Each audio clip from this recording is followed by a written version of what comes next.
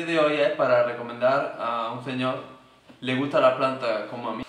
Ahora mismo estamos lidiados con, eh, con las plantas de Tío Broma Cacao. Llevamos muchísimos años con, con los intentos con esas plantas y siempre ha sido fracaso, fracaso porque eh, estas plantas no se adaptan bien al frío, se suelen morir muy rápidamente con el frío.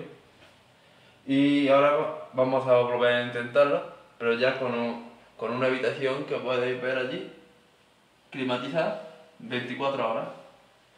Y, y nada, estamos ahora intentando germinar, como podéis ver aquí, en un terrario climatizado con unos 28 grados de calor, que es el numerito de aquí. Y aquí tenemos otro que marca 22,4. Así que yo me hago entre los dos, me hago una media, porque las ondas están metidas en distintos sitios. Me hago una media de unos 25 grados más o menos. Podéis ver que está sudando.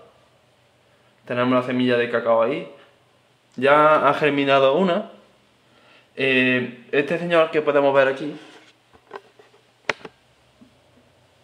que lo recomiendo mucho, se llama, su canal se llama... Y se aprende mucho porque mirad, esto yo no podría tenerlo aquí en España, es imposible. Y tener yo esto- una mazorca aquí en España, en mis manos, mm, esto es una maravilla. Esto no hay aquí. Eso, seguir los consejos de, esta persona, porque hombre, basta- entiende bastante, está viendo algunos de sus vídeos y, y entiende bastante. Suscribirse a su canal porque merece la pena y se puede aprender mucho con él. Pues eso, nosotros vamos siempre a buscar la novedad, las cosas raras, lo difícil. Por ejemplo, esto. Una mazorca de cacao que me ha llegado, mirad. Es impresionante, como esta que tiene aquí este señor.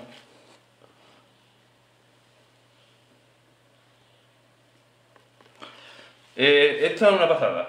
Una pasada porque la abres y tiene una semilla que se pueden comer, bastante rica. Y la impresión que me ha dado al abrir esto es que huele como. Es como un melón. Este árbol de cacao echa melones en el tronco. Olor como si estuvieras partiendo aceituna. Ese es el olor que me ha dado. La sensación. Y nada, que esta planta me gusta mucho. Después las hojas es una maravilla. Tiene una hoja. Un verde muy intenso. La hoja es muy floja. Parece de seda. Y no sé, a mí me llama mucho la planta de cacao. Y me llama mucho. Me han dicho, eres tonto, esto lo otro se va a morir. Claro que muere. Cualquier planta se muere. Pero lo bonito es tenerla, tener una cosa rara, única.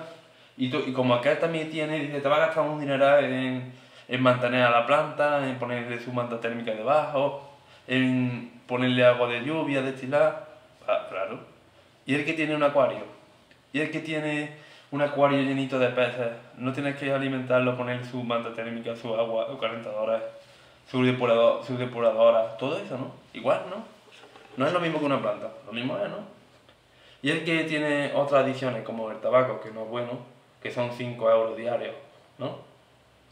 O el, alcohol, que el alcohol no te venga bueno, te lía a beber, a beber, a beber, te hace el hígado polvo. Y después criticamos a personas como yo que nos gustan las plantas